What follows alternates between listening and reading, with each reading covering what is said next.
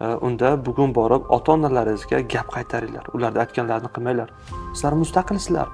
Kim nima desa xo'p deb itoat qilib ketadigan bolalar jamiyatda yetarlisidan ko'proq. Bugungi kunda shunday. Judayam ko'p. Nima uchun xulosa qilmasdan mani fikrlarimni olyapsan? Man sani axir yomon yo'lga boshlayapman lekin o'zbeklarni fikrlashi o'zgarmaydi. Dunyoda hamma narsa o'zgarishi mumkin turg'un hech narsa yo'q. O'zim o'zimga aytyapman o'zbeklarni fikrlash tarzi turg'un o'zgarmaydi. U bilishi kerak zarif opa. Agressiya shaklida namoyon qiladi. Ha agar oddiy misol oilada janjal kelib chiqqan vaqtda erkaklar nima uchun ayolga qo'l ko'taradi? Uyidagilari shunday qiladiki uyini garovga qo'yib qarz olib uylanadi. Chunki qudalarga mana bunaqa sep qilishimiz kerak mana bunaqa qizga bunaqa sovg'a qilishimiz kerak bola pulim yo'q desa agar assalomu alaykum azizlar. Bugungi son mehmonimiz bor va bugungi mavzuyimiz ham o'zgacha bo'ladigan umiddaman. Chunki ko'pchilikda uchrayotgan muammolar to'g'risida suhbatlashamiz. Zarif opa assalomu alaykum. Assalomu alaykum. Yaxshimisiz? Rahmat. Charchamayapsizmi? Xudoga shukur zarif opa sizni tanimaganlar bor. O'zingiz haqingizda qisqacha ma'lumot bersangiz keyin man mavzuyimni aytaman qaysi mavzuda. Va bizlarga savollar kelgan. Shu savollar yuzasidan siz bilan bugun suhbatlashamiz nasib bo'lsa. Mhm.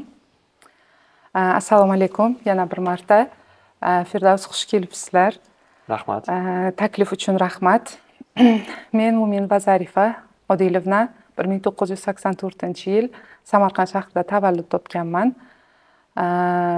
Mutaxassisligim faylasuf falsafa fanlari bo'yicha falsafa doktoriman ikki ming besh ikki ming oltinchi yillardan boshlab pedagogik faoliyat bilan shug'ullanib kelaman ya'ni ushbu sohada o'n sakkiz o'n to'qqiz yildan buyon faoliyat olib boryapman. Oliy ta'limda e, va o'rta ta'limda yoshlarga ta'lim tarbiya berish bilan shug'ullanganman. Bugungi kunda o'zbekiston finlyandiya pedagogika institutida yoshlar masalalari va ma'naviy ma'rifiy ishlar bo'yicha birinchi prorektor lavozimida ishlayapman.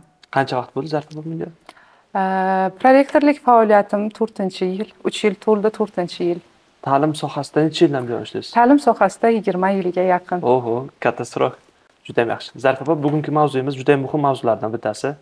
Hozir aynan sizni nima uchun bugungi e, sonimizga iltimos qilganligim sababini hozir tushunib olasiz? Va nihoyat sir ochilar ha nasib bo'lsa. Ho'p e, bugungi mavzuyimiz man faoliyatim davomida ko'pgina kuzatishlarimda shu narsani ko'rdimki o'g'il bolalar tarbiyasida hozir ota onalar juda yam ko'p qiynalishyapti o'g'il bola tarbiyasida. Masalan maktabdan boshlayotgan bo'lsak maktabda уже bolalar yettinchi sakkizinchi sinfdan qanaqadir e, sigaret chekish holatlari yoki ota onasiga quloq solmasligi ota ona va bola o'rtasidagi munosabatlar. Aynan bugun xuddi shu muammoli vaziyatlarni siz bilan ko'rib chiqamiz xudo xohlasa. Mhm. va taxmin qilgan bo'lsangiz kerak nima uchun aynan o'g'il bola tarbiyasiga sizni tanlaganligimni. Tushunarli. Shu haqida ham o'zi qisqacha ma'lumot bersangiz nimaga men tanlaganingizni tushundim. Chunki oilam bilan tanishsiz. Uch nafar e, o'g'il farzandim bor va bugungi kunda mana shu bolalarni katta qilish bilan e, hayotga tayyorlash bilan shug'ullanyapmiz. Eng qiziq jihatlardan biri firdavs uchta farzandim e, uch xil o'ziga xos yosh xususiyatiga ega bir davrda. Katta farzandim tug'ish farzandim o'n sakkiz yoshda. Bu yil maktabni tugatish va e, o'qishga tayyorlanish bosqichida turibdi. O'ziga yarasha bir xarakter xususiyatlari bor. Ikkinchi o'g'lim endi e, o'rta e, bolalik tugab yoshlikka o'tish o'rtada yurgan bola. nimasida davrida o'n ikki yoshda. Va kichkinam hali maktabga chiqqani yo'q olti yoshda. Har birining o'ziga yarasha xarakteri bor har biri bilan muomala qilish va tarbiya qilish jarayoniga alohida individual yondashuv talab etiladi. Uchalasiga bir xil muomala ish bermaydi. Va bugungi tanlagan mavzuyingiz nihoyatda dolzarbligini men ham ta'kidlab o'tmoqchiman tasdiqlamoqchiman fikringizni. Chunki jamiyatdagi sodir bo'layotgan juda ham ko'p muammolar oila bilan bog'liq muammolar kadrlar e, siyosati bilan bog'liq muammolar aynan o'g'il bolalar tarbiyasida yo'l qo'yilayotgan xatolar bilan bog'liq deb o'ylayman. Chunki bizni jamiyatimiz o'zbek jamiyati urg'u beradi qiz bolalarni tarbiyalashga. Oilaga ham qizlarni tarbiyalashga katta urg'u beradi. Lekin o'g'il bolani oilaga tayyorlash kerakmi yo'qmi degan savol nimagadir har doim ikkinchi planda turadi. Qanday tayyorlash kerak? Nimagadir e, oilani mustahkamligi masalasi kelinchaklarni sabrliligi kelinchaklarni bo'lajak kelinlarni oilaga tayyorgarlik darajasi bilan belgilanadi deb o'ylaydi ko'pchilik. Lekin bu unday emas oilani ustuni bo'lgan erkaklar ham oila qurishga oila mas'uliyatini olishga ota bo'lishga farzand tarbiyalashga umr yo'ldoshi bo'lishga umr yo'ldoshi bo'lgandan keyin ota onalari va o'zini ayoli oilasi o'rtasidagi balansni saqlashga tayyormi degan savollarni ham ko'rib chiqish kerak deb o'ylayman. Zarif opa ho'p qiz bola tarbiyasi bilan o'g'il bola tarbiyasini nima farqi bor deb o'ylaysiz? Nima deb o'ylaysiz?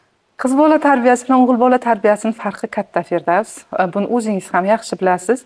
Chunki bu ikki jins vakillari fiziologik biologik jihatdan va ruhiy psixologik jihatdan bir biridan farq qiladi. Qizlar fiziologik biologik jihatdan kurashuvchan yashovchanroq masalan oddiy bir misol bilan moslashuvchan. Oddiy bir misol bilan aytishimiz mumkin. Masalan to'la shakllanmagan xalq tilida aytganda chala tug'ilgan bola deymiz. Bola chala tug'ilgan paytida qiz bolalar bilan o'g'il bolalar statistikasini solishtiradigan bo'lsak qiz bolalarni yashab ketish holati ko'proq. Yetti oyda tug'ilsa ham sakkiz oyda tug'ilsa ham yashab ketish ehtimoli kattaroq o'g'il bolalarga nisbatan. Chunki boya aytganimizdek fiziologik jihatdan ruhiy jihatdan qizlar yashovchanroq kurashuvchanroq moslashuvchanroq. O'g'il bolalar fiziologik biologik jihatdan ham e, ruhiy emotsional jihatdan ham ozgina mo'rtroq qizlarga nisbatan garchi qizlar e, zaifalar hisoblansada ayollar e, ojiz jins vakillari hisoblansada lekin ular ruhan va fiziologik kuchliroq o'g'il bolalarga nisbatan. Shuning uchun ham ularni tarbiyasiga alohida e'tibor berish kerak. Masalan qizlarning ota onasi qizi bilan shug'ullanishga qizini hayotga har taraflama tayyorlashga masalan bir yuz foizlik vaqtdan ellik ellik besh foizini sarflasa ham yetarli bo'lishi mumkin. Chunki qiz bola qanday qilib bo'lsa ham hayotda o'z o'rnini topish uchun kurashadi doimiy ravishda. O'g'il bolalarga mana shuni eng kami yetmish yetmish besh bermaydigan bo'lsangiz o'g'il bolani tarbiyasida ma'lum bir nuqsonlar ko'zga tashlanadi darrovda.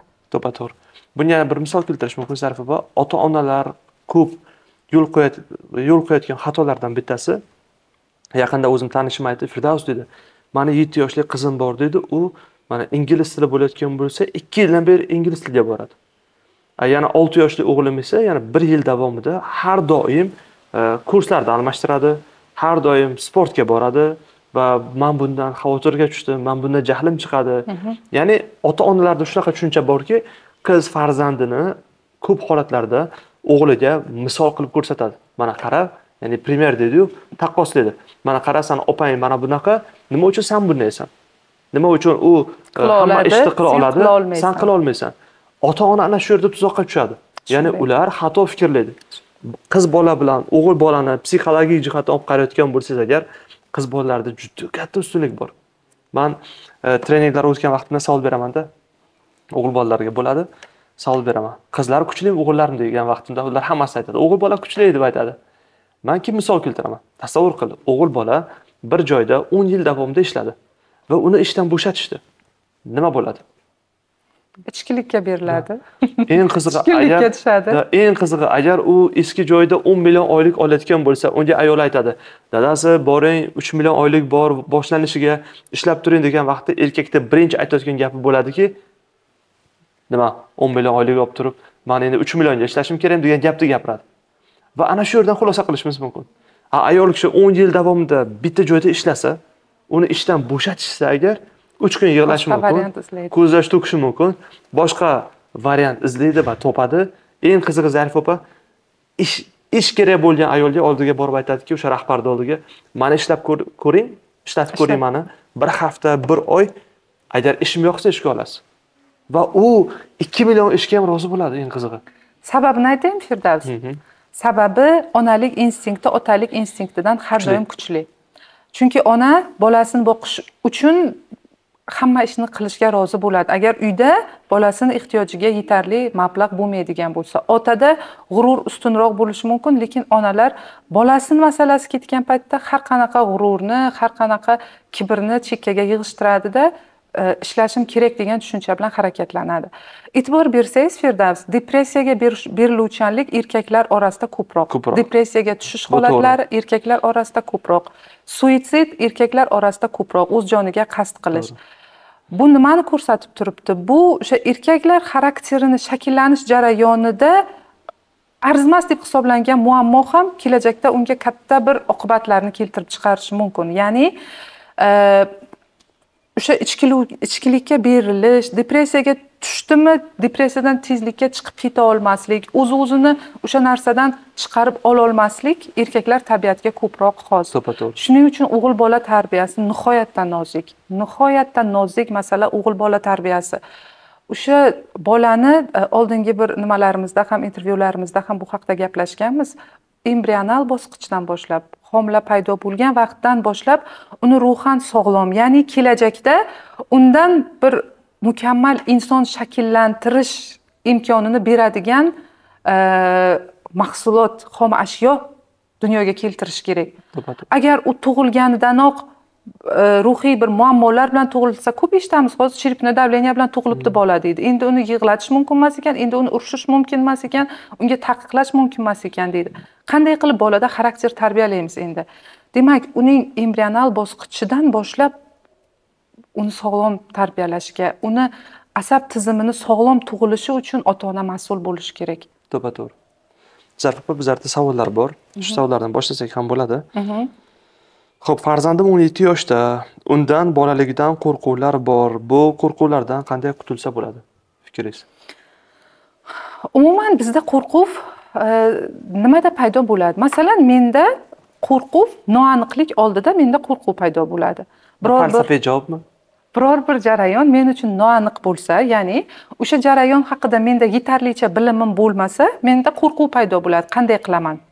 Qanday chiqib ketaman vaziyatdan demak qo'rquvning sabablaridan biri yetarlicha bilimga va yetarlicha informatsiyaga ega bo'lmaslik. Masalan o'zimiz uchun notanish bo'lgan bir eshikni ochib kirishga qo'rqamiz chunki uni ichida nima borligini hali bilmaymiz. Har kun kirib chiqib yurgan uyimizda svet o'chsa ham bemalol kirib borib nimamizni o'zimizga kerakli narsani topib olishimiz mumkin. Qorong'ixona bo'lsachi. Qorong'i bo'lsa ham topa olamiz chunki qo'rquvlar bo'ladi mana qorong'ixona qorong'idan fobiya Э, umuman bolalarda o'ziga bo'lgan ishonchni kamligi hayotni turli vaziyatlari oldida qo'rquvi paydo bo'lishi bolani hayotda yetarlicha turli sohalardan xabardor qilib shakllantirilmaganligi bilan bog'liq. Mana qarang oddiy narsa. Bolalar e, ota onasi bilan ko'chaga chiqadi. Ikki yoshli bola uch yoshli bola. Ota ona harakat qiladi uni hamma narsadan himoya qilishga. Borma yiqilasan deydi ushlama kesasan deydi ustingni kir qilma deydi to'xta o'zim qilib beraman deydi. Bu narsalar bolani o'zicha himoya qilyapti. Lekin bu e, bolani mana shu bir qobiqqa solib qo'yyaptida u o'zi yiqilib turib ko'rmasa og'riqliligini his qilmasa kesib ko'rib bilmasa og'riqliligini bilmasa u shu xatolar oldida qo'rquvi paydo bo'ladi uni. Qanaqa ekan u? Balki u o'ylaganchalik kuchli og'riq bermas shu u narsa. o'ylaganchalik vahimali u bo'lmasligi o'ylaganchalik vahimali bo'lmasligi mumkin. Qo'rqinchlilik darajasi pastroq bo'lishi mumkin.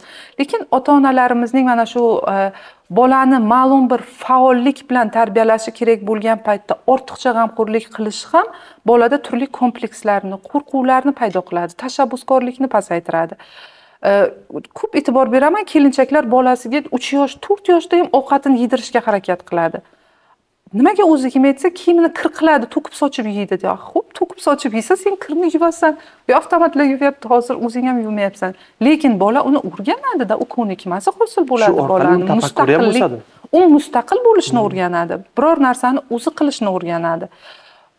Mana bu jarayonlarga biz nihoyatda ahamiyatsiz deb qaraymiz lekin aslida bu juda juda ham ahamiyatli jarayon ekan. Bolani mustaqil bo'lishiga hayotdagi turli qo'rquvlarini yengishiga bolada qo'rquv bo'lishiga sabab bolaga ishonch berilmaganligi. Qo'rquvni teskarisi uni dushmani nima? Ishonch. Ishonch. bor joyda qo'rquv kam bo'ladi. Masalan siz menga aytdingiz telefon qilib opa podkast olmoqchimiz dedingiz. "Ah, xo'p dedim. Agar e, mavzuyingizni bilaman taxminan nimaligini bola tarbiyasi bo'lishi mumkin pedagogik jarayonlar yoki jamiyatimizda o'sha e, yoshlar o'rtasida uchraydigan turli masalalar bo'lishi mumkin. Chunki men oldimga tish davolatishga kelmaysiz yo boshqa matematika bo'lsa? matematika bilan kelmaysiz. Demak o'zimcha bu sohada ma'lum bir bilimim bor ko'nikmam bor degan xotirjamlik bor ichimda. Qo'rquvim kam shuning uchun. Uyalib qolmayman firdavsni oldida degan ishonchim bor. Demakki e, insonda insonni o'ziga ishonchi bo'lishi uchun e, u hayotning turli bosqichlarida oilada maktabda unga mustaqillik berilishi kerak unga tashabbuskorlik berilishi kerak. Ota ona ularni erkin qo'ya olishlari kerak. ota ona unga erkinlik berishi kerak. Ana shu masala shunchalik nozik masala firdavs. Masalan bolaga erkinlikni me'yordan ortiqcha berib qo'ysangiz bolada aksincha hech narsadan qo'rqmaslik hech narsa uchun bir javobgarlik his qilmaslik mas'uliyatsizlik paydo bo'ladi. Me'yordan oshib ketsa me'yordan kam erkinlik berilgan holda mana bu tashabbussizlik qo'rqoqlik mana bu holatlar kelib chiqadi. Ya'ni e, bu jarayonda me'yorni topa olish me'yor eng katta e, belgilovchisi baholovchisi hisoblanadi me'yorni to'g'ri bila olish. Ya'ni cheklash bilan cheklamaslikni o'rtasidagi chegarani to'g'ri topa olish kerak. Hmm. nimalarni cheklash kerak? Qachon cheklash kerak? Nimalarni cheklamaslik kerak? Qaysi jarayonda bolaga ustupkaga borish kerak unga yon bosish kerak. Mana shularni albatta ota onalar bilishi kerak. To'g'ri. Zarif opa fikrlaringiz juda yam yoqdi manga ayniqsa mana bu qo'rquvni manda ham xuddi shunaqa xulosada qo'rquvlar qachon bo'ladi? Bizga ishonch yetishmagan vaqtda. Qo'rquvlar qachon bo'ladi? Bizda e, ma'lum bir bilimlar bo'lmagan vaqtida biz o'sha narsa haqida ma'lumotga ega bo'lmagan vaqtimizda bizda qo'rquv bo'ladi. Qo'rquv bilan vahimani e, qo'rquv bilan hayajonni farqi nimada? Ikkalasi ham insonni emotsional holati ota ona uni ajrata olishi kerak hayajon qo'rquv bilan hayajon lekin hayajon firdavs qo'rquvga nisbatan sal yengilroq daraja. Qo'rquv sal chuqurroq daraja. Hayajon bo'lishi mumkin insonda bir besh o'n minut davomida davom etishi mumkin va uni yengib ketadi inson. Chunki o'zini qo'lga oladi emotsional o'zini bosib oladi e, fikrlarini jamlaydida hayajonini yengib e, ishini davom ettiradi. Masalan birinchi auditoriyaga kirgan paytlarimda dars o'tishga katta auditoriya bir yuz yigirma kishilik yuz kishilik auditoriyalarga dars o'tishga kirganmiz yigirma bir yoshdaman yigirma ikki yoshdaman. Hayajon bo'lgan. Leksiyaga tayyorligimga ishonaman lekin hayajon baribir qo'yib yubormaydi chunki katta auditoriya oldida gapirishni mas'uliyati katta bo'ladi. Lekin o'n minut o'n besh minut dars boshlab olganimdan keyin mavzuni nimasiga kirib olganimdan keyin hayajon yengilgan. Bu hmm. qo'rquv emas demak qo'rquv bo'ladi qachonki siz darsga tayyor bo'lmay kirdingiz mavzu haqida yetarlicha materialim bo'lmaydigan bo'lsa sakson minut qo'rquvda o'tiraman. Hozir birortasi savol berib qolsa bilmaydigan narsamni so'rab qolsachi e, yoki shunga o'xshash. Demak qo'rquvni negizida yetarlicha ilmga ega bo'lmaslik bu faqat e, dars jarayoni bilan bog'liq emas. Har qanday jarayonda bolaga yetarlicha bilim berilmagan bo'lsa o'sha jarayon haqida. Bolada qo'rquv ichida kuchli bo'ladi. Armiyaga bor deymiz bolalarga borgisi kelmaydi qo'rqadi. O'zicha qanaqadir bir vahimali tasavvurlari bor armiya haqida. Lekin u unchalik qo'rqinchli bo'lmasligi mumkin. To'g'ri. Yoki ayrim bolalar oila qurishdan qo'rqadi. Falonchi uylandi ajrashdiku falonchi jo'ramni oilasi o'xshamadiku. Demak oila qurish unchalik bir nima emas hmm. uni bir qo'rqinchli joylari bor qo'rq. Demak har qanday jarayonda bolani o'sha qo'rquvini bo'lmasligi o'ziga bo'lgan ishonchini kuchliligi bilan bog'liq. Har qanday jarayonda. Zarif opa man bu savolga psixolog tomonidan javob bersam ya'ni bular fobiyalar deyiladi. Fobiyani uch yuzdan ortiq turi bor ekan. Uch yuzdan ortiq turi bor. Va e, bizda aynan yuksalishimizga xalaqit beruvchi fobiyalar bor. Ya'ni masalan qorong'ulikdan qo'rqish yoki bu tepalikdan qo'rqish suvdan qo'rqish e, yoki bo'lishi mumkin samolyotdan qo'rqish moshinaga minishdan qo'rqish. Mhm. bular kundalik hayotimizda uchraydigan ma'lum bir qo'rquvlar. Yoki bo'lishi mumkin e, qanaqadir hayvondan qo'rqamiz. Kimdir ilondan qo'rqishi mumkin kimdir itdan qo'rqishi mumkin. Bu qo'rquvlarni boshlang'ich bosqichi tarbiyaga borib taqaladi. Ya'ni ota ona sifatida e, ota onalar bilishlari kerakki farzandingizga nimanidir e, o'sha cheklash uchun nimadandir himoyalash uchun biz qo'rquvlarni ishga solamiz hozir mana bu e, o'zing bir o'zing mana bu xonaga borma. Chunki u xonaga borayotgan bo'lsa xonani rasvo qilishi mumkin tozalangan joyda iflos qilishi mumkin va sani kalon ajdaho chiqadi. Yoki man aytaman hatto bola fobiyani e, o'zida shakllantiradi. E, bu- bundan bir yil oldin bitta ota ona olib keldi bolasini yetti yoshli bolasini mani bolamda to'rt yoshidan buyon qo'rquv bor. Qo'rquv mana mishkalar bor ayiqlar bor qo'g'irchoqli ayiqlar Yumshoq yumshoq o'yinchoqlar va aynan ana shularga nisbatan qo'rquv bor ekan. Bu bola qo'rquvni televizordan e, olgan. Ya'ni e, qanaqadir tadbir bo'ladi va tadbirda o'sha yumshoq e, игрушка kiygan qo'g'irchoq kiygan odam chiqadi odamlarni urishdi odamlarga azob berishni boshlaydi va bolada qo'rquv bo'ldi. Ong ostiga o'sha signal yetib qolgan. Da fred aytadiki fred nazariyasi bo'yicha siz ham buni juda yaxshi bilasiz fred nazariyasi bo'yicha insonni boshqarayotgan narsa bizni ong ostimizdagi dasturlarimiz. Ya'ni bizda qanaqa dastur ota ona tomonidan yukla yuklangan bo'layotgan bo'lsa agar biz shu dasturlar bilan yashaymiz. Bu dastur homiladorlikdan bo'ladi. Homiladorlikda ona juda kuchli qo'rqdi va ma'lum bir yoshga o'tgandan keyin bola e, o'sha qo'rquvlar asosida yashaydi. Mani eng asosiy man hozir ko'zga ko'ringan qo'rquvlarni aytmoqchiman o'zini fikrlarini ko'pchilik oldida aytib bera olmaslik bu qo'rquv bor zarif opa shunday va bu eng achinarli holat bu o'g'il bolalarda bor. Bu qo'rquv keyin mana bu eng bitta qo'rquvni aytmoqchimanki o'g'il bola bilmasa ham bilmayman deb aytmaydi. U- bilishi kerak zarif opa agressiya shaklida namoyon qiladi. Ha agar oddiy misol e, oilada janjal kelib chiqqan vaqtda erkaklar nima uchun ayolga qo'l ko'taradi? Buni tagida ham qo'rquv yotadi. Ya'ni unda zaiflik. da zaiflik yotadi ya'ni aqllar ma'lumotlar yetmagan vaqtda so'zlar tugagan vaqtda biz qo'lni ishlatamiz. Eng oson yo'li shu. Shunday. Ayolni og'zini yopishni eng oson yo'li shu. Agar uni bilimi bo'ladigan bo'lsa unda so'zlari bo'ladigan bo'lsa bu, bu yana bolalikka borib taqaladi ya'ni bizga o'r- o'rgatishadiki san o'g'il bolasan. O'g'il bola bilmayman o'g'il bola qilolmayman deyishga haqqi yo'q. Yo u bilmayman deyishi kerak u bilmasa. Shunday. Man hozir bilmayman man uni o'rganaman. Man bu hozir bu savolimizga e, qaysi ma'noda savol berilgan man bilmadimu lekin bizlar hozir bunga umumiy to'liq qilib javob bersak yaxshi bo'lardi. Ya'ni ota ona qo'rquvlar degan vaqtda tepalikdan qo'rqish yoki qorong'ulikdan qo'rqish yoki nimadandir qo'rqish emas. Siz aytgandek uylanishdan qo'rqish. O'g'il bola. E o'g'lim nima uchun uylanishdan qo'rqasan? Ota ona suhbatlashmaydi bola bilan. Bilasiz nima deydi ustidan kuladi. O'g'il bola ham qo'rqadimi uylanishdan dedi. Qiziq holat. Yana bir qiziq joyi bor. Mana e, qo'rquv. Qo'rquv qayerdan paydo bo'ladi?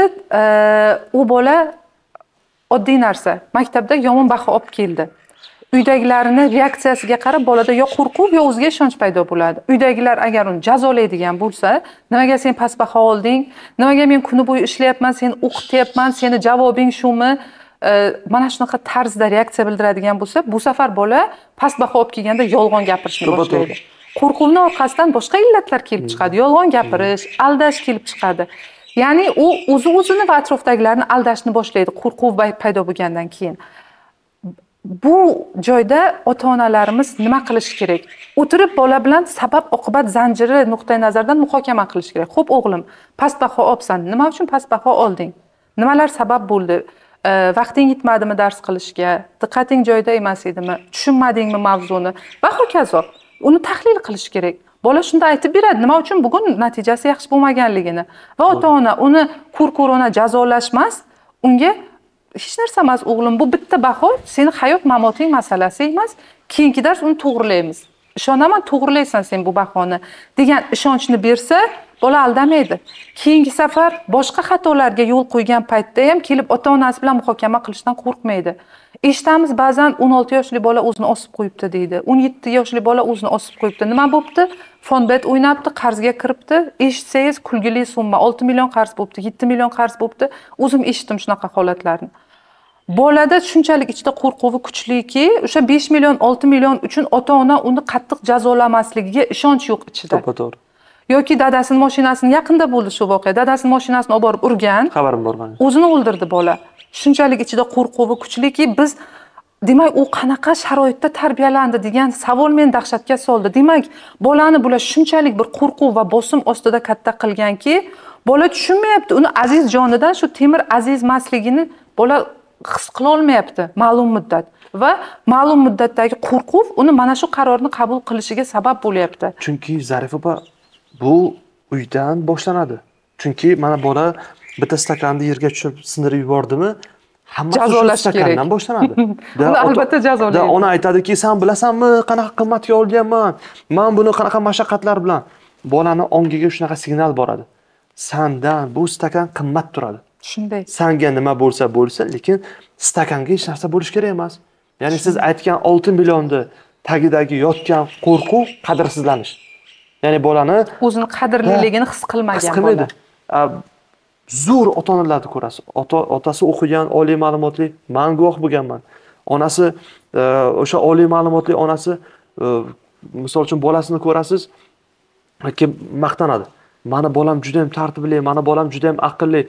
Ikkinchi ota ona o'tiradi o'tiradi oldida zarif opa uyalib o'tiradi. Sizni bolangiz qanaqa deyman? E mani bolam sho'xda deydi mani bolam gap qaytaradi mani bolam unaqa man aytaman. San bolangdan qo'rqma. Sani bolang gap Shunday. Sani bolang gapiryaptimi? Sani bolang e, o'sha o'zini gaplarini gapiryaptimi? San undan qo'rqma. Uning o'z fikri bor. Da san undan qo'rq. Jim o'tirgan boladan qo'rq. Chunki unda cheli buket bor muammolar bor. Man universitetda o'qib yurgan e, paytim o'qituvchimiz aytardi bahrama degan o'qituvchimiz bor da judayam u kishini bitta chiroyli gaplari bor edi uni problemasi buket. Shunaqada ya'ni man buketni endi endi tushunyapman. Demak u buketda yuzta gul bo'layotgan bo'lsa bitta shaxsda ham yuzta muammo bor. Bola o'tiradi u tarbiyali boladan qo'rq. Qarang firdavs jamiyat tarixiga nazar soladigan bo'lsak jamiyatni kimlar o'zgartirgan? Itoatsizlar o'zgartirgan. Kim nima desa xo'p deb itoat qilib ketadigan bolalar jamiyatda yetarlisidan ko'proq. Bugungi kunda shunday. Juda yam ko'p. Yetarlisidan ko'proq bunaqa bolalar. Shuning uchun ham bizda taraqqiyot o'ziga yarasha bir temp bilan boryapti agar jamiyatda o'rnatilgan normalarni normalarni inkor qila oladigan o'zini nuqtai nazarini ayta oladigan yoshlar ko'p bo'lganda jamiyatimizda progress darajasi bundan yuqori bo'lishi kerak edi. Mana qarang jadidlar. Hozir ko'p tilga olinyapti. Nima uchun ular qo'rquvini yengdi? Ularni ko'zini oldida sssr degan ulkan imperiya bor edi. Ular aniq edi qatl etilishi qatag'on bo'lishi o'zining o'sha ilg'or fikrlari uchun. Lekin ular qo'rqmadi. Orqasida turgan millionta qo'rqoqdan ajralib chiqdi. Men shu millatni ma'rifatli qilaman. Men shu millatni tobeylikdan qutqaraman. Men shu millatni e, bir ilmli bo'lib dunyodagi bir istalgan normal odamdek hayotda yashashi uchun biror narsa aytaman degan o'zini fikriga ega bo'lgan bolalar qatag'on bo'lib ketdi. Lekin bugungi kunga ular ulkan meros qoldirdiku. Usmon nosirni fitratni cho'lponni qodiriyni bugun ham biz bolalarimizga ibrat qilib ko'rsatamizku. Ularni ibrat qilib ko'rsatganimizdan maqsadimiz ular hammadek bo'lmadi boshqacharoq bo'ldi. Hamma o'tirgan mana shu tartib mana shu tartibdan voz kechdi ular. O'rnatilgan o'sha qoidalar jamiyatga zarar keltirayotgan bo'lsa uni aytish kerak. Uni hamma aytolmaydi. Uni erkin bola ayta oladi uni qo'rquvi bo'lmagan bola ayta oladi. Yoki e, katta katta inqiloblar qilgan shaxslarni bilamiz tarixdan. Masalan martin lyuter butun bir katolik cherkovini ming yillik hokimiyatiga zarba bera oldi yevropada reformatorlik islohotchilik harakatini boshladi. Nimaga uni uni qo'rquvi yo'q edimi? U ham hayotga bir marta keldi. U ham bilardi o'lishini. Lekin tobe bo'lib yashashdan ko'ra o'sha qolipga solingan fikrlash tarzidan voz kechib jamiyatga nimadir o'zini yangi g'oyasini berishni istadi. Yo galileo galiley kopernik jardana brunolar nima uchun o'lib ketdi? Ming yil o'sha cherkov ularga singdirgan olamni markazida yer turibdi degan g'oyani inkor qildi. Unday emas oldida kuch qanchalik katta bo'lsada ular qo'rquvini yengdi. Hatto o'limi oldidan jardana brunoni mashhur gapi bor. O'limi oldidan bo'ldi voz kech g'oyangdan degan paytda men g'oyamdan voz kechishim mumkin lekin u baribir aylanaveradi degan fikrni aytib gulxanda yondi. Yoki o'zimizni bobolarimiz nima uchun ibn sino dahosi e, bunchalik yosh o'ldi? Chunki uni doimiy qatag'on qildilar. Uni kreativ g'oyalari uni o'zgacha fikrlashi hech kimga ma'qul bo'lmadi. U noan'anaviy usullar bilan insonlarni umrini uzaytirmoqchiligi ma'qul kelmadi mavjud standartlarga. Demak jamiyatda qo'rquvini yenga olib o'zini mustaqil nuqtai nazarini ayta olganlargina jamiyatda nom qoldiradi. Bo'lmasa millionlab odamlar tug'ilyapti millionlab odamlar o'lib ketyapti. Nimaga faqat ayrim shaxslarnigina ismi tarixda qoladi? Qaysiki o'sha erkin fikrlay olgan o'zini ichidagi qo'rquvlarini yenga olgan bir yagona g'ami shu hayotda tirik qolish bo'lmagan insonlargina tarixda iz qoldiradi. Unaqa bolalarni esa biz tarbiyalaymiz. Bizni jamiyatimiz hozir muhtoj shunaqa kishilarga. Yaqinda bitta loyiha o'tkazildi mutolaa loyihasi alisher sa'dullayevni tashabbusi bilan. Qo'rqma degan asar asosida qisqa metrajli film olingan. Talabalarimiz bilan shu filmni ko'ryapmiz. Bir ming to'qqiz yuz yigirma to'rt yigirma oltinchi yillarda yetmish ikkita o'zbek bolasi germaniyaga o'qishga borganligi u yerda ularga shunchalik qaytib kelishi oldidan bosim qilinganligi o'zbekistonga kerak emas bunaqa kreativ g'oya o'zbekistonga kerak emas bunaqa yangicha yondashuv deganlariga qaramasdan o'zbekistonga qaytib kelib o'zbekistonni ta'lim tizimidagi muammolarni o'zbekistonda o'qimaslik bilan bog'liq bo'lgan jaholatni qanchalik katta muammolarga sabab bo'layotganligini aytib lekin qatag'onga uchrab ketganligi haqidagi bir asarni bolalarga ko'rsatib berdik. Ichi titradi bolalarni. Larzaga keldi man nimaga uchun o'qishga keldim? O'qishga kelib ketish uchunmi? Institutga kelib ketish uchun kirdimmi? Odamlar ilm olish uchun germaniyaga borgan ekan vaqtida. O'zida imkoniyat hmm. bo'lmagan payt. Ilm olib kelib qatag'on bo'lgan ekan. Shunchalik vatanparvarlik ularni ham majbur qilishgan maslagingdan qayt fikringdan qayt mana bu tizimga xizmat qil qo'lingda diploming bor germaniyani diplomi bilan mana bu mana bu ishlarni qilasan deb va'da berishgan paytda ular o'zini g'oyasiga o'sha vatanparvarlik ma'rifatparvarlik g'oyasida sobit turganligi uchun ham qatag'on bo'lib ketgan o'n sakkiz yigirma yigirma ikki yoshli bolalar hammasi. Yetmish ikkita o'zbek bolasi haqidagi mana shu asarni tavsiya qilaman. Hammaga qo'rqma degan asarni o'qishni juda ham zo'r asar kuchli asar yozilgan tarixiy faktlar asosida arxiv hujjatlari asosida yozilgan. Shu asarni o'qib bola o'zi o'ziga savol berishni boshlaydi. Nima uchun o'qishga kirdim? To'rt yil nima uchun o'qiyapman? Diplom olib chiqib men nima qilmoqchiman? degan savollarni bola o'ziga berishni boshlaydi. Ana shu bolalarni qo'rquvini yengishda juda ham foydali asar bo'ladi deb o'ylayman. To'g'ri. Man birinchi savol bermoqchiman sizlarga opa. Man savol ota onalarga bermoqchiman. Mana siz farzandingiz hayotda o'z o'rnini topishi uchun siz nima qilyapsiz? Avval shu savol berish kerak ota onaga qani sani farzanding kelajakda muvaffaqiyatli inson bo'lishi uchun san nima qilyapsan? Man bilasiz nimadan achinaman treninglar qilayotgan vaqtimda man bolalarga aytaman o'g'il bolalarga siz o'g'il bolami ha deyman. Unda bugun borib ota onalaringizga gap qaytaringlar ularni aytganlarini qilmanglar. Sizlar mustaqilsizlar. Sizlar quloq solmanglar ularga. Sizga nima yoqsa shu ishni qiling deyman hammasini ko'zlari yonib ketadi. Ho'p shunaqa qilish mumkinmi deb o'ylayman man unga keyin man ularga aytaman savol beraman. Ho'p mani fikrlarim sizlarga yoqdimi? Ha yo'qdi. Nima uchun xulosa qilmasdan mani fikrlarimni olyapsan? A man sani axir yomon yo'lga boshlayapmanku man sani ota onangga qarshi qilyapmanku ota onang sani o'stirish uchun sani dunyoga keltirish uchun qancha mashaqqat chekkan? Keyin o'ziga keladi keyin fikrlashni boshlaydi birinchi savolni ota onaga berish kerak. Sizni farzandingiz kelajakda muvaffaqiyatli bo'lishi uchun ota onalar o'zi nima qilyapti hozir? Nima deb o'ylaysiz? Manda javob bor lekin. Ota onalar nima qilayotgani haqida ho'p aytasiz javobingizni. Ota onalar nima qilyapti? Oxirgi yillarda mana oxirgi besh yillikda baribir quvonarli holat o'qishga bo'lgan ota onalarni bolalarga motivatsiya berishga bo'lgan qiziqishi baribir ozgina bo'lsada ko'tarilish bor. Ota onalar harakat qilyapti bolalarini til kurslariga yuborishga mental arifmetikaga yuborishga sport to'garaklari bilan band qilishga harakat qilyapti. Endi bu uni tashkiliy qismi ishni tashkiliy qismi ya'ni u pul bilan qilib beradigan qismi u. Lekin uyda bajaradigan qismi ham bor. Bola bilan yetarlicha muloqot qilyaptimi? Masalan kursga berib qo'yib biror marta borib man bir yildan beri bola kursga qatnayapti borib biror marta uni natijalari bilan qiziqmagan ota onalar bor. Chunki o'ylaydi kursga qo'ydim bo'ldi endi o'zi o'zini eplasinda deb o'ylaydi. To'g'ri. Yoki e, uyda yetarlicha bola bilan e, tahlil analizni mavjud emasligi. U hali hayotga tayyorlanyapti.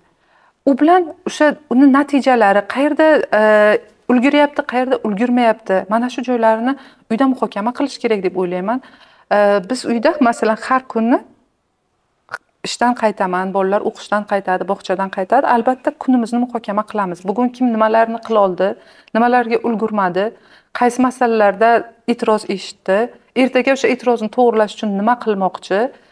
Uni tugatganimizdan keyin albatta biror bir sport o'yinlari yo tennis o'ynaymiz yo shashka o'ynaymiz har biri bilan alohida. Masalan boburni bo'yi stol tennisiga hali yetmaydi. Albatta shashka o'ynaydi u. Juda ham yaxshi ko'rgan yaxshi ko'ryapti shashka o'ynashni. Yangi qiziqish paydo bo'lganida aytmoqchi bo'lganimki bolalar bilan ko'proq vaqtni birga o'tkazish kerak. Shunda nimaga bolam telefonda degan boyagi shikoyatlar kamayadi. Bola siz bilan bo'lsa telefon bilan bo'lmaydi. Bolani telefondan ayirish ota onalarga qiyinlik qilyapti ko'p ota onalarga boshida mayli qiyinlik qiladi lekin siz uni qiziqtira olsangiz boshqa ishlar telefondan qiziqroq ekanligini isbotlay olsangiz bolani ishontira olsangiz bola telefondan uziladi. To'g'ri.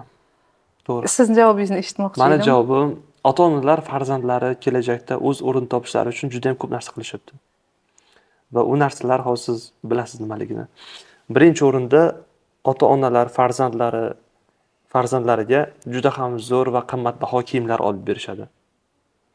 Zo'r zo'r tug'ilgan kunlar qilib berishadi zo'r to'y qilishadi va eng zo'r sharoitlarni yaratib berishadi. Va ota onalar aksariyati o'ylashadiki shu orqali man farzandimni kelajagi uchun zo'r ish qilyapman deb o'ylashadi. Ammo qanaqadir kurslarga kelgan vaqtda ularni aytayotgan gaplari judayam qimmat. Nima qilaman yuborib nima keragi bor yoki aytishadi o'qiganlar nimani qoyillatdi va ularda doimiy aytayotgan so'zlari shu bo'ladi. Va bu yerdagi raqobat boshlanadi o'z o'zidan qo'shni bolasi uchun mana bu narsani qilibdi man ham deyman mana bu narsani qilishim kerak. Demak bu yerda ehtiyojlar o'sdi. Ehtiyojlarni qondirish uchun esa biz bolalarni tashlab nima qilamiz? Chetga ishlashga borishimiz kerak. Mana oddiy misol. Siz juda yam chiroyli narsani aytdingiz. Aslida bolaga ko'p narsa kerak emas. Unga qimmatbaho telefon unga zo'r sharoit kerak emas. Hatto u e, o'sha bir e, ozgina suv bilan ozgina bir burda nonga qorin to'yishi mumkin bolani lekin onani mehrini hozir yoshligidan oladigan bo'lsa u bir umrga yetarli narsani olgan bo'ladi. U keyin mana man e, juda yam achinib ketdim yaqinda. Holat yosh yosh yigitlar o'zidan o'n yosh katta o'n besh yosh katta ayollarni sevib qoladi ayollarni orqasidan yuradi misol uchun sevgi izhor qiladi. Bu aynan e, uyda onani roli bolaga yetarlicha bo'lmaganligi sabab bu. Otani roli ham otani roli. Ota tushun ota bu narsani bola o'zi yetti sakkiz yoshdan keyin harakat qiladi. E'tibor beringlar o'g'il bolalarga yetti sakkiz yoshdan keyin o'g'il bola ko'proq erkaklar davrasiga intiladi. Chunki u qanaqa erkak bo'lishi kerakligini o'rganishi kerakda. Unga qizlar davrasida qiziq bo'lmaydi odatda. Obraz kerak. Yo dadaga yo aka yo tog'a yo amaki shular bilan birga bo'lishga harakat qiladi. O'sha davralarda u erkak obrazini to'g'ri shakllantirib olmaydigan bo'lsa siz aytgan masalalar kelib chiqadi haqiqatdan ham hmm. kelib chiqadi shunaqa masalalar. Boya e, to'y qilib beradi degan masalangizda yaqinda institutda abdulla qodiriyning baxtsiz kuyov e, asarini sahnalashtirdik. Bu asarni sahnalashtirganimizda ko'p onalarni ko'zida bitta savolni ko'rdim. Demak o'zbeklarni muammosi bundan bir yuz yigirma bir yuz o'ttiz yil oldin ham shu muammo bo'lgan ekan. Demak o'zgarmabmiz degan xulosaga keldi ota onalar nima uchun keldi? Chunki qarang butun dunyoda bir ming to'qqiz yuz yigirmanchi yil bilan mana ikki ming yigirmanchi yillarni solishtirsak dunyoda qancha o'zgarishlar bo'ldi? Dunyo inqilobiy o'zgardi. Dunyoni manzarasi o'zgardi. Industrial jamiyat tugadi informatsion jamiyatga o'tdik. Biz texnologik asrni ham yengib o'tyapmiz. Informatsion jamiyatga yetib keldik. Nanotexnologiyalar e, jamiyatida yashayapmiz biz. Lekin o'zbeklarni fikrlashi o'zgarmaydi. Dunyoda hamma narsa o'zgarishi mumkin turg'un hech narsa yo'q. O'zim o'zimga aytyapman. O'zbeklarni fikrlash tarzi turg'un o'zgarmaydi. O'sha baxtsiz kuyov asarini agar e, nima o'qigan bo'lsangiz bola uylanish jarayonida uydagilari shunday qiladiki uyini garovga qo'yib qarz olib uylanadi. Chunki qudalarga mana bunaqa sep qilishimiz kerak mana bunaqa qizga bunaqa sovg'a qilishimiz kerak bola pulim yo'q desa agar pul ketsa ketsin obro' ketmasin qarz olasan ishlab berasan deydi hovlisini garovga qo'ydirib qarz oldirib to'y qildiradilar bolaga. Asarni nomi ham baxtsiz kuyov. Bola bir yil ichida o'sha qarzlarni berolmay na bir kuyovligini tushunadi na bir kuyovlik baxtini his qiladi bu bola. Miyasida doimo qarz. Va oxir oqibat shu bola o'ladi. Er xotin o'zini osadi. Bola o'zini e, bola o'zini o'ldiradi qiz ham o'zini o'ldiradi kelin ham o'zini o'ldiradi hozir yo'qmi shunaqa oilalarimiz firdavs? Judayam ko'p.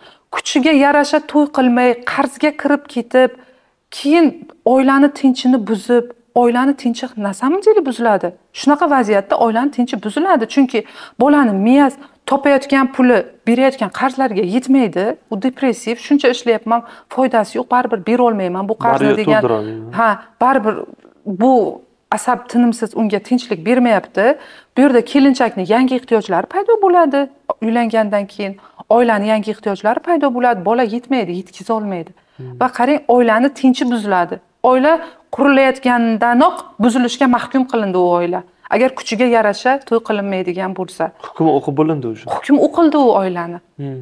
qarz bilan to'y qilib oila qurilgan oilani hukmi o'qildi oilani obro'yi to'kiladi birinchidan kelinchakni o'zini oldida. Chunki kelinchakda tushuncha paydo bo'ladi. Bular qarzga botib to'y qilibdi. Kunda bir kishi qarz so'rab kelyapti deydi. U oilani уже hurmat qilmaydi oldingidek. To'g'ri. Agar behbudiy o'sha payt aytgan agar o'zbeklar to'yga uyushgandek uyushsa to'rt yuz besh yuz kishi bo'lib bir joyda to'yga xarajat qilgandek ilm olishga xarajat qilsa dunyoni oldida bo'lardik hozir biz deb aytadi haqiqatdan ham shunday firdavs ilm olishga investitsiya kiritgisi kelmaydi. Odamlarga ko'rsatib xo'jam kursinga to'y qilsa imorat qilsa bolasiga qimmat moshina olib bersa bolasi hammani ichida maqtanib moshina haydab yursa shu unga obro' lekin bu bolaga baxt beryaptimi? Bola jamiyatga biror bir foyda keltiryaptimi? Bola ertaga senga rahmat olib keladimi mana shuni orqasidan? Eng to'g'ri sarflangan investitsiya bu aksioma bu isbot talab qilmaydi. Eng to'g'ri sarflangan investitsiya bolani ilm olishi uchun sarflangan investitsiya. Ilm deganda man nazarda tutmayapman albatta borib bironta institutdan oliy ma'lumot haqida diplom olish. Bola ilm har qanday ilm ilm kasb ham ilm hunar ham ilm. O'zini hunarini mohir ustasi bo'lsa u hech narsadan qo'rqmaydi. U har qanday vaziyatda nonini topadi oilasini boqadi. Uni qo'lida o'ziga ishonch bera oladigan bir hunari bir diplomi bo'lmaydigan bo'lsa bola hayotda qanday yo'lini topadi? U keyin qo'rquv qo'rquvlar girdobida qolib ketadi. Mana qo'rquv nimadan? Mana ishonchsizlik nimadan? Oyog'i yerda qattiq turadigan asosi yo'q. U asos biz uchun bizni ilmimiz bizni hunarimiz kasbimiz. U uchun ota onalar kuchli bo'lishlari kerak. Ota onalarni o'z fikri bo'lishi kerak. Qarang yuz yigirma yilda ham o'zgarmabmiz. Yuz yigirma yilda ham shunaqa to'y qilyapmiz. Ilmga pul ajratishdan xohishimiz yo'q bunga. Bizlarda bu o'zgarish bo'lgan lekin o'zgarish nimada bo'lgan bilasizmi? Judayam kam. O'zgarish to'ylarimiz kattalashdi. To'yxonalarda to'y qilishni hashamlashdi hashamdorlashdi. hashamlashdi bu ham o'zgarish. Nima farqi bor? Tepaga emas pastga qarab. Shunday. Ho'p keyingi savolim bor. Bizada qancha bo'ldi? Bir soat bo'lmadimi? Mhm. keyingi savolimiz bor zarif opa. O'g'limni o'ziga bo'lgan ishonchi past qanday ko'tarish mumkin endi bu masalani e, oldingi savolimiz bilan ham bog'lab ko'rib o'tdik. Ha o'ziga bolani ishonch berish uchun bolaga tashabbuskorlik berish kerak. Mhm. kichkinaligidan boshlab tashabbuskorlik berish kerak. Biror narsani o'zi qilib ko'rishiga qo'yish kerak. Har doim uni yetaklab yurmaslik kerak. Masalan oddiy narsa endi ko'p man hayotim bilan bog'lab aytyapman chunki o'zingiz aytdingiz uchta o'g'lingiz bilan bog'lab ayting deb. Shunday vaziyat bo'lardiki uyda ukasi yig'lab qolardi kattasini bog'chaga olib borishim kerak. Bog'chani darvozasidan to'g'ri bo'lardimda mana to'g'ri yo'l har kun shu yo'ldan borib qatnab kelamiz. Hech qanaqa xavotiring hech qanaqa qo'rquving bo'lmasdan bemalol bor men orqangdan qarab turaman derdim. Endi bir uch yuz metr joy. O'sha uch yuz metrda mani besh minut yetti minut vaqtim tejaladida borib kelishga. Ana shu narsani qilardim lekin olti yoshli bolani ko'chani boshida kutib turardim. Boshida albatta o'ziga sezdirmay asta asta borardim. Nazorat qilib chunki ishonch hosil qilishim kerak bola ana shu uch yuz metr to'rt yuz metrni asta asta o'zi bosib o'tishni o'rgatganman bolalarga. Hozir xuddi shunday boburda ham xuddi shundayman. Kattamda xuddi shu usul bilan ishlaganman. Hozir ko'ryapman kattamda o'ziga ish berdi. ishonchi yuqori qo'rqmaydi. Masalan yangiliklar oldida bosh kichkinalarida ham shu usulni qo'llayapman. Hozir bobur olti yoshda olti yarim yoshda oxirgi yili bog'chaga borishni bog'chasiga bir uch yuz to'rt yuz metr joyga o'zi boradi. Uch yuz to'rt yuz metrgacha olib boraman. Moshina yo'li yo'q. Tinch odamlar yashaydigan hududni o'zi bosib o'tadi. Mana shunday. Yoki e, uydagi ishlarda ham xuddi shunday. Uyda ayrim ishlarni bolalarni o'ziga qildirtiraman. O'zi tashabbuskor bo'lishi kerak. Shunda uni kelajakda uni oldida qo'rquvlari bo'lmaydi. To'g'ri. Bolani ishonchini tushirayotgan narsalardan bittasi bu tanqid bu. Ota onalar bu o'sha eskidan qolib ketgan bu nima deymiz mentalitetdan ko'chib kelayotgan bitta qarash bu. Ya'ni bolani qancha ko'p tanqid qiladigan bo'lsam qancha ko'p e, kamchiligini aytadigan bo'lsam u ko'proq harakat qiladigan tushuncha bor. Ya'ni ota ona bilmaydiki aynan bu tanqidlar bolani o'ziga bo'lgan ishonchi so'nadi. Bunga bir misol keltirish mumkin. Tasavvur qiling bir e, o'ttiz yoshda qo'lida puli bor e, biznes ochish uchun yetarlicha aqli bor. Ammo ishonch yetishmayapti uni orqasida qo'rquv bor. Hamma narsa bor. Ishonch. Va aynan ana shu yerda tavakkalchilik yetishmaydi ha ota onadan qolib ketgan rol borda ota ona o'tib ketgan уже ota ona yo'q. Lekin u hozir man agar yutqazadigan bo'lsam agar man hozir bankrot bo'lsam agar e, keyin nima qilaman? Keyin nima bo'ladi? Masalan bu esa bolalikdan qolgan bola qaysidir ishni bajarishdan oldin ota ona aytadiki agarda san hozir shu vazifani bajara olmasang mandan yaxshilik ko'rma. Yaxshilik kutma mandan. Yoki qarang bizda shunaqa narsa bor hayron qolaman.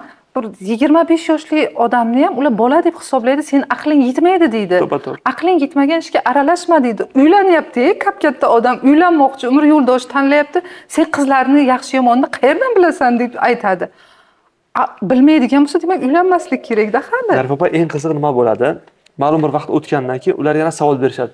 Nimaga san yigirma beshga borgansan hali ham bitta ishni eplolmaysan chunki o'zlari imkon bergani yo'qda. San hali yoshsan deb aytishadi. qila olmaysan degan narsa bu o'zicha arzimas deb o'ylaydi ota onalar lekin bu juda ham katta bolani hmm. o'ziga bo'lgan ishonchini va e, tashabbuskorligini juda ham keskin pastga tushiradi. Qarang firdavs yana bitta narsa qizlardan ko'ra o'g'illarni tarbiyasini farqi ana shu yerda seziladi. Qizlarni uncha muncha gap bilan fikridan qaytara olmaysiz. Mana uyda ham uylangansiz bilasiz. Ayollar uncha munchaga fikridan qaytmaydi. O'g'il bolalar tabiatan tanqiddan tez sinib qoladigan qilolmaysan desa demak qilolmayman deb tez qo'lini ko'taradigan tabiatan shunday.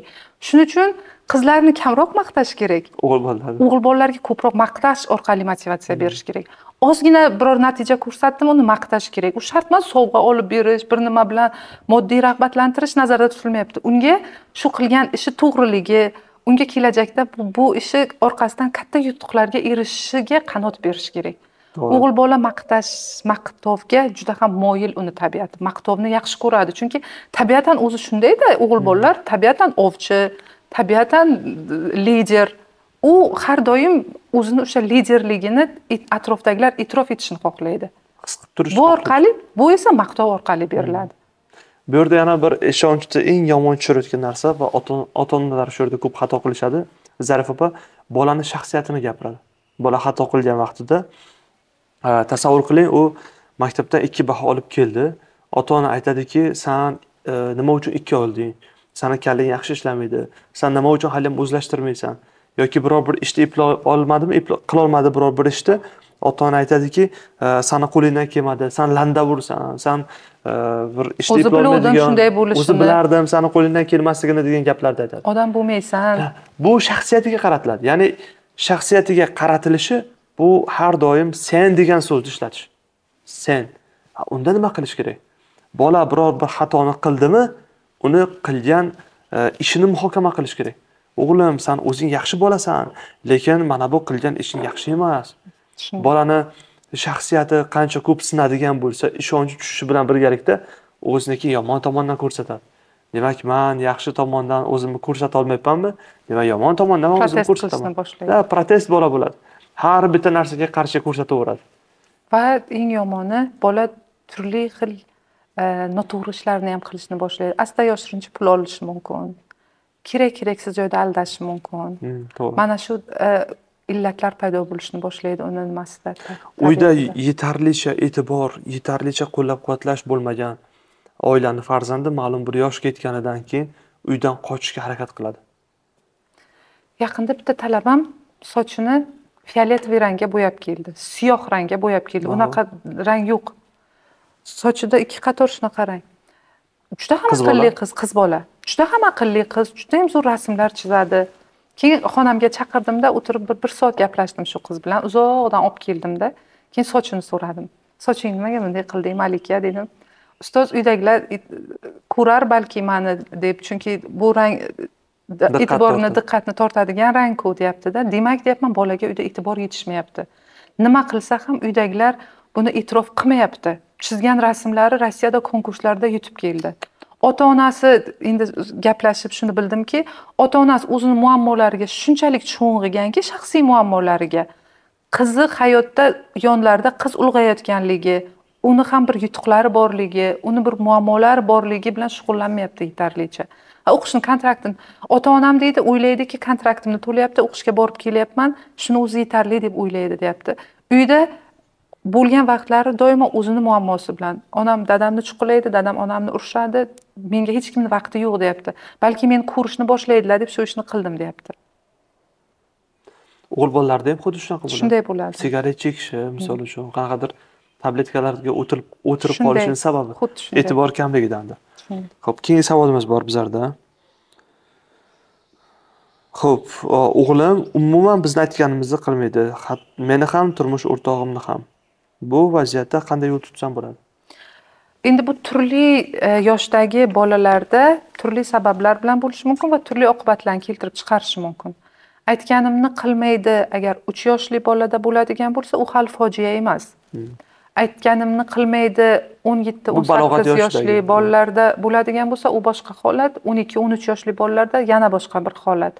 Ya'ni bola aytganini qilmayaptimi? Boya aytgan masalalarimiz bolani ichida tug'yoni bor noroziligi bor ota onasiga ishonchi kam. Agar ota onasiga bo'lgan ishonchi baland bo'lsa bolani ota ona har doim u bilanligiga hech qanday vaziyatda ota onasi uni e, muammolar girdobida o'zini qoldirmasligiga ishonchi bo'lsa bola protest qilmaydi. To'g'ri o'zini fikrini aytadi o'zini pozitsiyasini bildiradi lekin bu qo'pol protest darajasiga chiqmaydi. Demak ota va ota ona va farzand o'rtasida ishonch masalasi bu yerda e, muammo bo'lyapti. Qaysidir joyda ota onam e, xatolikka yo'l qo'ygan bolasi bilan o'rtasidagi e, ishonch darz ketgan. Man ota onalarga aytamanki agar farzandlaringiz sizni hurmat qilishini xohlasangiz avvalo o'zingizni hurmat qilishni o'rganing. O'zini hurmat qilish bu qanaqa bo'ladi? Bolani kichkina xatolari uchun juda katta jazolar qilish kerak emas ota ona chunki e, bitta bir qarash borda zarif opa ko'pchilik ota ona xuddiki o'zi umrida xato qilmagandek muomala qiladi bolasidan shunday. Xuddi ko'raman aytaman san o'zing idealmisan. San o'zing hayotingda xato qilmaganmisan. Jim bo'lib qoladi keyin ko'radi. Chunki u yillar davomida o'zi qanaqadir muvaffaqiyatlarga erishganidan so'ng o'zini ideallashtiradi. Man hech qachon xato qilmaganman. Shunday. Man hammasini eplaganman. Manda hammasi zo'r bo'lgan. Lekin mani bolam nima uchun bunaqa bolalarga xatolarini ko'rsatishdan ota onalar uyalmasligi kerak. Ota ona o'zicha o'ylaydiki men bolamni ko'z o'ngida ideal obraz bo'lib turishim kerak deydi. Hmm. va bu bolani eng katta xato qilish nuqtasiga olib boradi. Chunki bola o'ylaydiki man ideal ota onani bolasiman ideal bo'lishim kerak ota onamga munosib bo'lishim kerak deb o'ylaydi. Ota ona bolasiga qilgan xatolarini aytib borish kerak. Bolam men ana bu yoshda mana bu mana bunday qilgan edim mana bunday bo'luvdi xatolarni aytib borish kerakki bola bu xatoni tabiiy deb qabul qilsin. Qo'rquvi kattalashmasin uni. Nimaga man xato qilmagan odamlarni bolasi xato qilyapman degan qo'rquvi paydo bo'lmasin. Chunki hammamiz xato qilamiz. Qancha ko'p xato qilganmiz. To'g'ri. Buni ota onaga aytmaydi ammo bu bolani ichkarisida bo'ladi ichki olamida bo'ladi. Shunday. Keyin zarif opa ikkinchi xato nimada? Ikkinchi xato ota ona o'zaro bir biriga bo'lgan munosabati bu ham bolani oldida ularni hurmati tushishiga sababchi bo'ladi. Masalan erkaklar bor ayolini haqorat qiladi ayolini urishadi uradi uni qadrsizlaydi va xuddi shunday ayollarda ham shunaqa reaksiya bo'lishi mumkin misol uchun. Va bu o'z uz o'zidan otaga ham munosabat o'zgaradi onaga onaga ham munosabat o'zgaradi. Va bu kelajakda o'zi quradigan oilasiga ham ta'sir ko'rsatadi. albatta. Albatta man shunaqa er xotin murojaat qildi. Bundan bir olti oycha oldin erkak har doim bolalarni ayolini urar ekan har doim sababsiz. Kelarkanda ishdan keldimi? Kichkinagina bitta e, stakan shu yerda turishi kerak man bu yerda turgani uchun ham urib ketar ekan nima uchun stakan kechqurun kecha mana bu yerda turibdi bugun bu yerda turibdi. Keyin u erkakni bolaligiga borib qaralgan vaqti otasi tomonidan juda qattiq jazolangan. Kichkina xatolar uchun. Va bola e, ma'lum bir yoshga yetdi otasiga gap qaytarolmagan otasiga o'sha xatolarni aytolmagan. Bu ichkaridagi agressiya qolib ketganda shu agressiyani bolalari orqali ayoli orqali chiqarishga harakat qiladi. Lekin eng qizig'i erkakni o'zi ham buni bilmaydi. Bu ongsiz ravishda bajaryapti norozilik hissini. Shuning uchun ota onalar o'g'il farzand tarbiya qilayotgan vaqtlarida ular his qilishlari kerak. Ertaga man bu o'g'limga bu noshud bolaga bu bitta so'zni ayta olmayotgan latta o'g'limga man kimnidir qizini olib beraman kimnidir farzandini olib beraman. Bu o'g'lim ertaga bir oilani tebrata oladimi? Bu oilani eplay oladimi? Buni qo'lidan keladimi degan narsa bor. Mana. Hozir firdavs jamiyatda boya aytib o'tdim juda ham ko'p e, bir muammolar. Ildizida erkaklarni yetarlicha e, erkakcha xarakter bilan tarbiyalanmayotganligi bilan bog'liq masalalar borda. Masalan oddiy hol bo'lib qoldi. Xotinini chetga ishlashga yuborib o'zi uyda kechirasizu uy bekasi bo'lib o'tirgan erkaklar bor. To'g'ri yoki uylanayotgan paytida qaynotasining mansabi qaynotasining boyligidan nimadir umid qilib uylanayotgan bolalar paydo bo'ldi. Bunday olib qaraydigan bo'lsak bu bunday bolalarni qanaqa otalar tarbiyalashi mumkin? O'sha erkak xarakteri to'g'ri sog'lom erkaklik parametrlari to'g'ri sog'lom shakllantirilmagan otalardan shunaqa bolalar tarbiyalanishi mumkin. O'g'il bola bolaki mana bugungi kunda har doim bizda erkak jamiyatni ustuni oilani ustuni bo'lib kelgan. Nimagadir bugun erkaklar o'z xohishi bilan ayrim erkaklar o'z xohishi bilan mana shu ustunlikni ayollarga berib qo'yyapti bu jamiyatda balansni buzilishiga olib keladi. Erkak va ayol munosabatida balans buzildimi? Oilada munosabat buziladi jamiyatda munosabat buziladi. Erkak o'z rolida o'zi mustahkam turishi kerak. Ayol o'z rolida o'zi mustahkam turishi kerak. Biror bir oilada biror bir jamiyatda erkak bajaradigan funksiyalarni ayol eplolmaydi bajarolmaydi. Bolasini ma'naviyatiga tarbiyasiga ota beradigan sifatlarni ona berolmaydi. Chunki o'g'il bola katta bo'lyapti ko'z o'ngida o'ziga ishongan lider ota obrazini ko'ra olishi kerak erkak obrazini ko'ra olishi kerak. Turli sabablar bilan bolani otasi oldida bo'lmaydigan bo'lsa shunaqa obrazdagi yaqin inson bo'lishi kerak oldida. Yo akasi yo amakisi yo tog'asi masalan otasi vafot etgan bo'lishi mumkin turli boshqa sabab bo'lishi mumkin.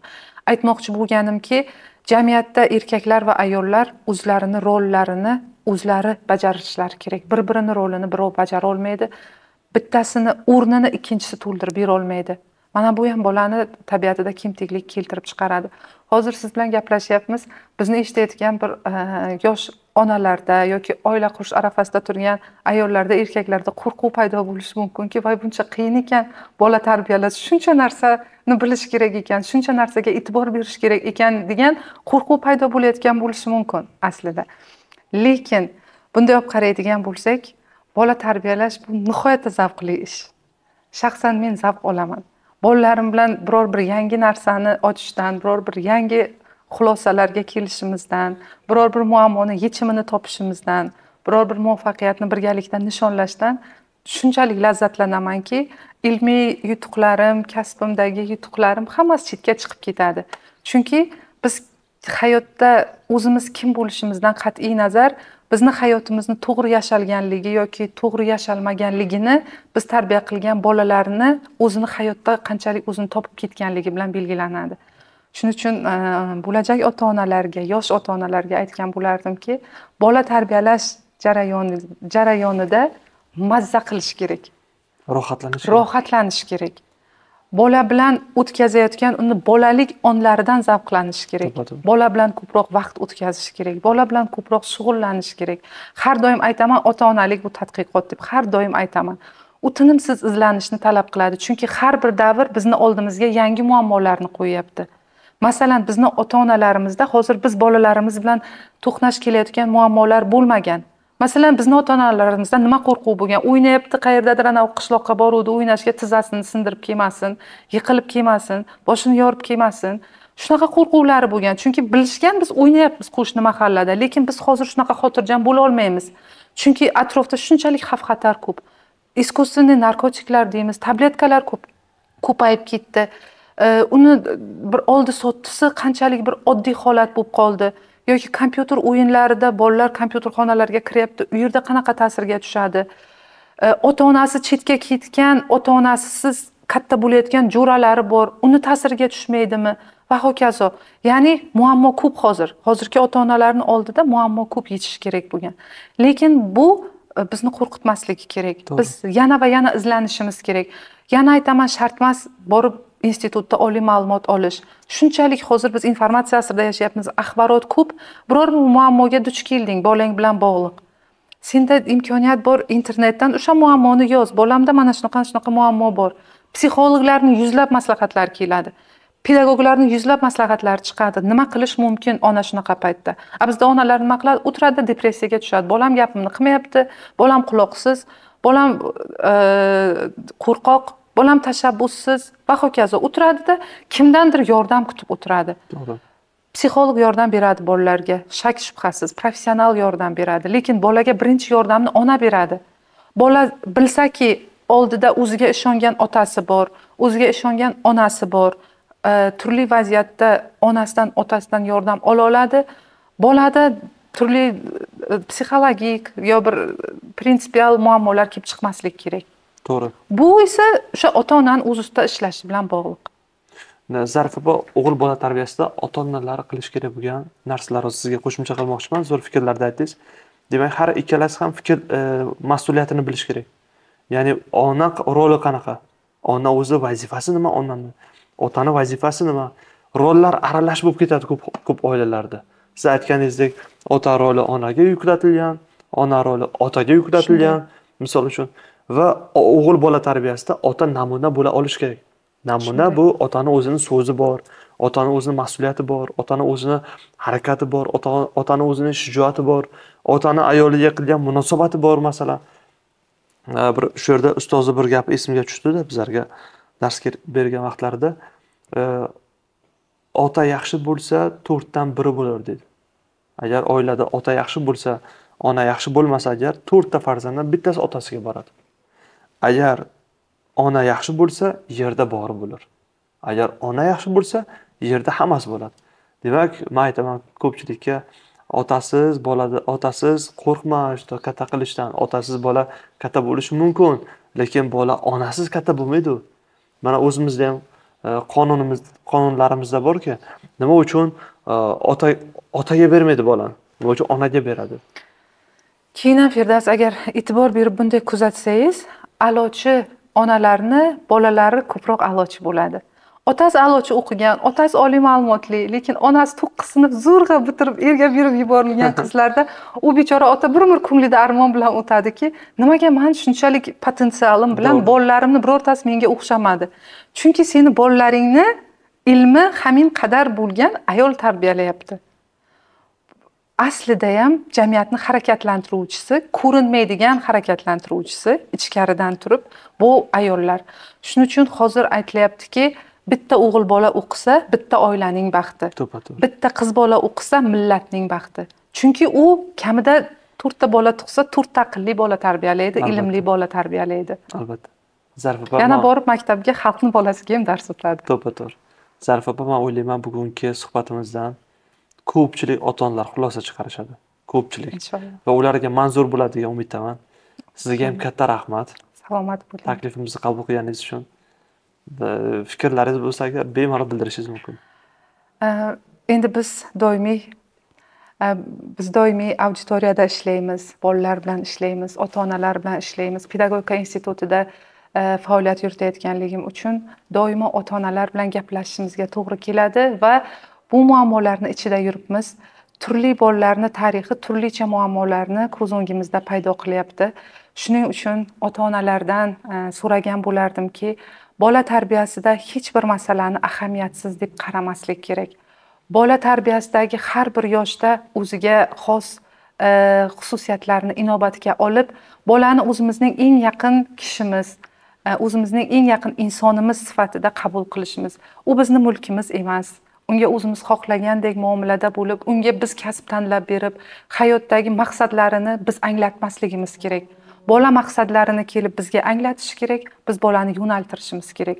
Shundagina bola hayotda o'z o'rnini topadi. Nima uchun ko'p bolalar ko'p yoshlar bugun hayotda yo'lini topmay qiynalyapti? Chunki ularni o'z oldiga maqsad qo'yishida ota onasi to'sqinlik qilgan. Sen bilmaysan nima to'g'riligini degan cheklov bilan boladagi tashabbuskorlikni mas'uliyatni o'z vaqtida o'ldirgan bo'lishi mumkin. Shuning uchun hurmatli e, otalar hurmatli onalar hurmatli ustozlar e, har birimiz bolalarga ilm berishdek mas'uliyatli sohadamiz. O'qituvchi bo'lmasakda oilada farzand tarbiya qilayotgan bo'lsakda o'sha farzandning kelajakda kim bo'lishi bugun biz uning tarbiyasiga qanday yondashayotganimiz bilan belgilanadi. Shuning uchun bolalarimizni yaxshi ko'rishdan bir sabab izlamasdan ularni maqtashdan ularni quchoqlab ularga yaxshi ko'rishimizni aytib ularga qanot berishdan oldida turgan har qanday katta maqsadini amalga oshirishga bolani qurbi yetishiga unga oddiy so'zlarimiz bilan ishonch berishdan hech qachon erinmaylik.